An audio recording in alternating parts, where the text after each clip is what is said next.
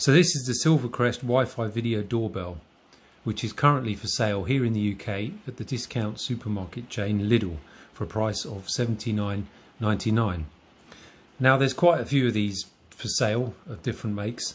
Uh, probably the most comparable would be the Ring doorbell uh, that have a entry model for a similar price. So yeah, we're going to have a look at some of the features of this and see how it stacks up against the Ring. Uh, if we look at the back of the box, it just lists some of the features.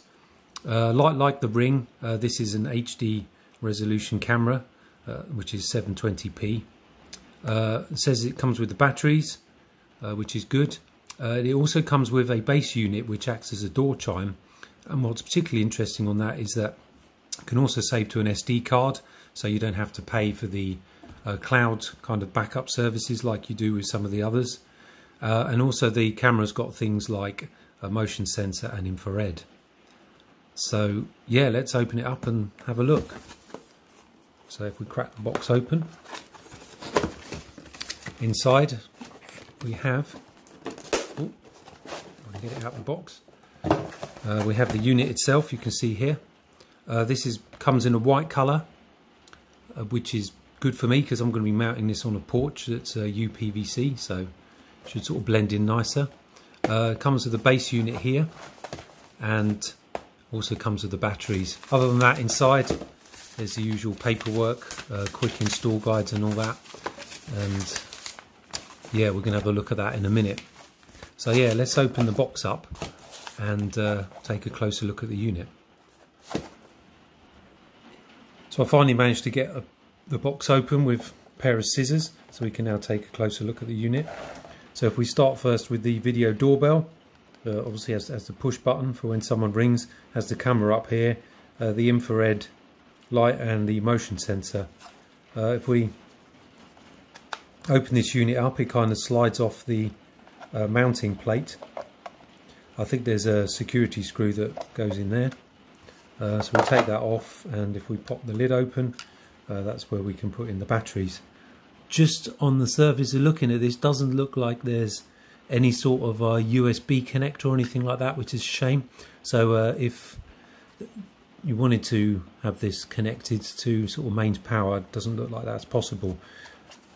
Um, the chime unit is here, so it's got the UK plug, which is good, and a couple of buttons on here. Looks like there's something for uh, connecting to the Wi-Fi and some sort of audio button which I guess is for the changing the chime.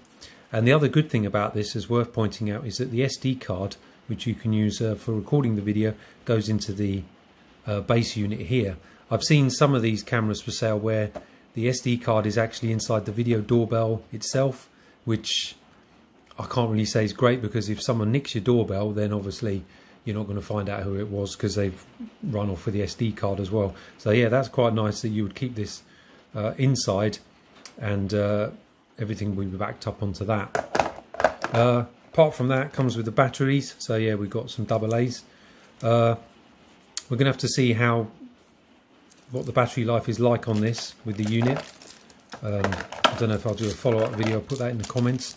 Then in addition to that, you get some little uh, tools.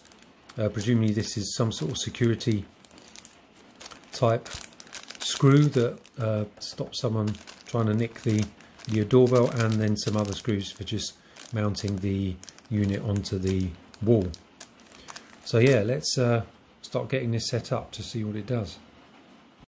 Okay, so following the uh, quick start guide, you put the batteries into the device, uh, you plug in the sort of base unit and uh, then you uh, can use these QR codes or go to the App Store for either Apple or Google to install the uh, Silvercrest app.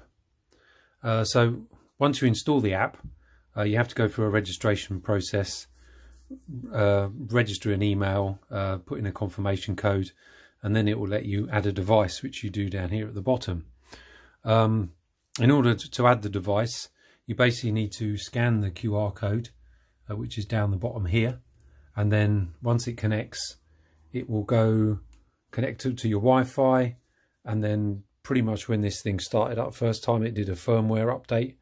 And uh, yeah, then it was uh, good to go.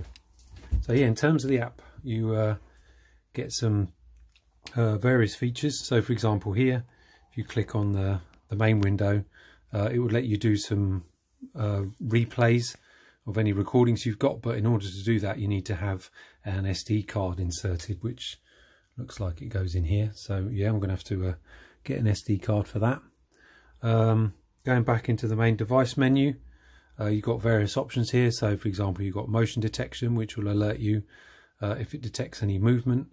Uh, you've got a in-call mode. So when you're communicating, I think whether it's kind of uh, one way or sort of two way. Uh, battery life indicator, we'll uh, keep an eye on that to see how long that lasts.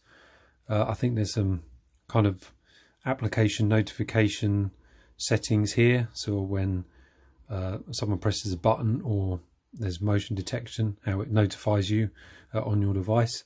Uh, night vision mode, which I'm guessing uh, will be switching on the uh, infrared LED on there.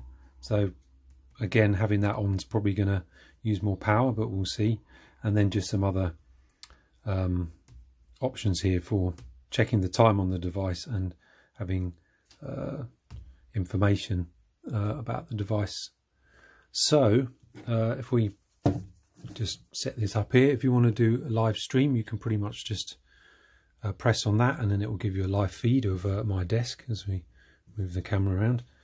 Uh, so in here you can um, uh, pretty much communicate with anyone. I think looks like you can do recordings live or take photos or and you can also listen to the microphone uh, which looks like the speaker option.